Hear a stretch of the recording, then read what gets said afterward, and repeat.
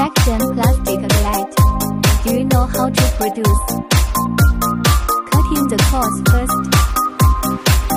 It's elastic cords. Can customize color and size. Lock the cord with metal and light.